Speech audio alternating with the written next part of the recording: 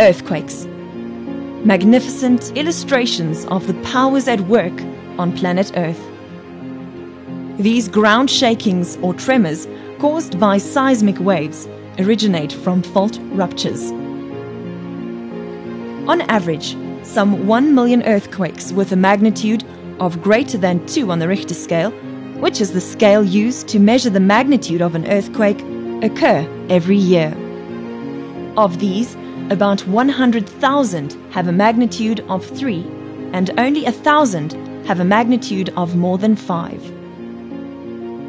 Although earthquakes generally do not last long, extensive property damage can be inflicted in a matter of seconds. Earthquakes are to a great extent located along plate tectonic boundaries. This allows for four specific settings where these powerful forces of nature can present itself. At divergent tectonic settings such as the Mid Atlantic Ridge and the East African Rift Valley, tectonic plates are being pulled apart, causing shallow earthquakes with a focus of less than 50 kilometers to form.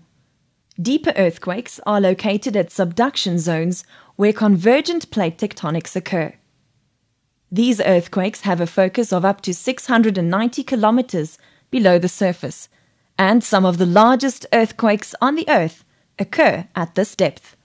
At transform tectonic boundaries, earthquakes with a strike slip mechanism are generated. As two neighboring tectonic plates move relative to one another, tension builds up in the rock. At the rock's critical point, it can no longer contain the tension, causing it to suddenly release. This results in the release of massive amounts of energy, causing rocks to be displaced as they slip along fractures, releasing seismic waves which travel through the earth. Geologists describe four different types of faults based on the movement type. Where two adjacent rock bodies move away from one another, it is known as a normal fault. Thrust faults, or also known as reverse faults, are representative of movements which occur towards each other, thus uplifting one part of the Earth. Transform faults form as adjacent rock bodies move laterally past one another. Oblique slip faults move both horizontally and vertically.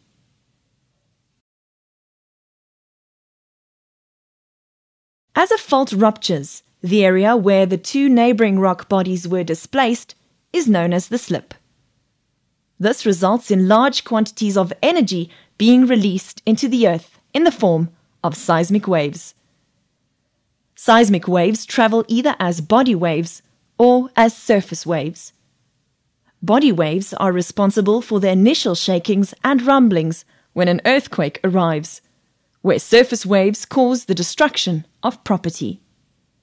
Body waves move through the Earth's interior in the form of primary P waves or secondary S waves.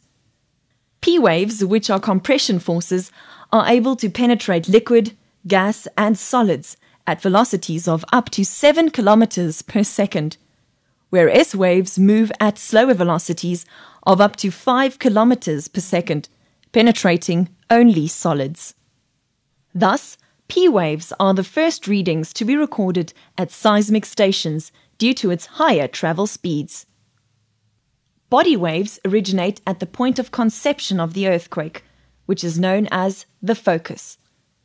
From this point, the waves are propagated in all directions. Surface waves start at the epicenter of the earthquake, located directly above the focus on the Earth's surface. Two different types of surface waves can be differentiated, including love waves and Rayleigh waves. Love waves cause the ground to move in a horizontal fashion, causing buildings to tumble, where Rayleigh waves are propagated in a circular fashion, creating rolling motions on the Earth's surface. Even though no methods exist in order to prevent earthquakes from occurring, the management thereof has improved in a great sense over the past years. Emergency preparedness and reaction plans, risk analysis methods aiming to identify the nature and magnitude of risks faced by inhabitants and infrastructure, and policies implementing post disaster rehabilitation and reconstruction are all examples of earthquake management methods.